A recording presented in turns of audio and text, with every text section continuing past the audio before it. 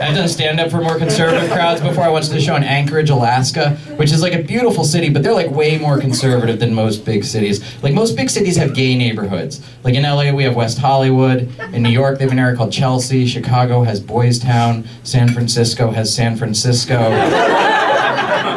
But Anchorage isn't like that. Like the gay area of Anchorage is just called Steve's house. And Steve is saving up to move to San Francisco. I'm Republican. People don't like Republicans. They call us bigots all the time. It doesn't even make sense anymore. Like, how can they still say Republicans are racist when one of our presidential candidates was African American? And how can they still say Republicans are sexist even though one of our presidential candidates was a woman? And how can they still say Republicans hate immigrants when two of our candidates were raised by immigrants? It's just unfortunate that our most popular candidate is a racist sexist who hates immigrants. like Donald Trump has no good ideas. People just like him because they're tired of political correctness. And that part I understand. Like political correctness is out of control. People nowadays are they're so obsessed with being politically correct. They'll say things they don't even really believe themselves just so they can sound politically correct. Like all these people who say they think Caitlyn Jenner is beautiful. Now, don't get me wrong, I don't think we should be mean to Caitlyn Jenner.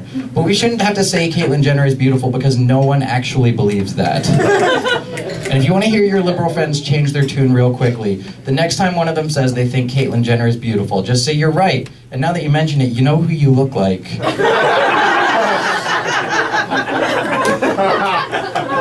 it's never a compliment to tell someone they look like Caitlyn Jenner.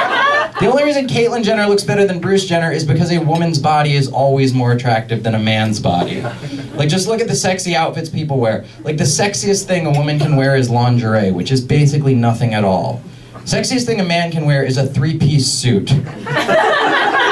Just layers and layers of material covering every inch of his horrible body.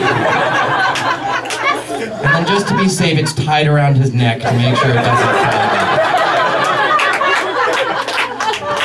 Like when a woman wants to improve her outfit, she'll show more skin. When a man wants to improve his outfit, he puts a sweater, a vest, and a scarf over the two shirts he's already wearing. And I know some of you are uncomfortable because I made a joke about trans people, and I'm uncomfortable because you don't like Republicans. So now we all understand Caitlyn Jenner's struggle. all right, thanks a lot, guys. Enjoy the rest of the show.